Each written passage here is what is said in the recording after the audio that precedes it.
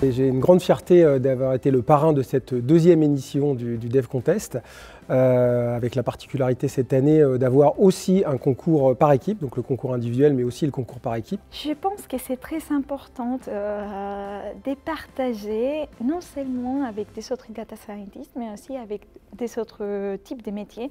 Notre équipe était une équipe multidisciplinaire. Quand on est développeur, on a envie de bien coder, on a envie de montrer que on, a une compétence rare. Et donc ce concours, c'est une façon de, l'exprimer, cette compétence rare. Bah, c'est un super métier qui allie beaucoup de choses. Euh, il faut beaucoup de qualité, de rigueur, de concentration, beaucoup de réflexion aussi. Et euh, c'est un travail aussi d'équipe. Donc euh, si vous aimez travailler en équipe et que vous aimez la science, je vous invite à coder. C'est important de montrer que déjà on a des développeurs partout à travers le monde euh, au, sein de, BPCE, qu'on développe aussi avec beaucoup de technologies différentes, on a, pu le voir pendant, ce concours, on a pas mal de, spécialités.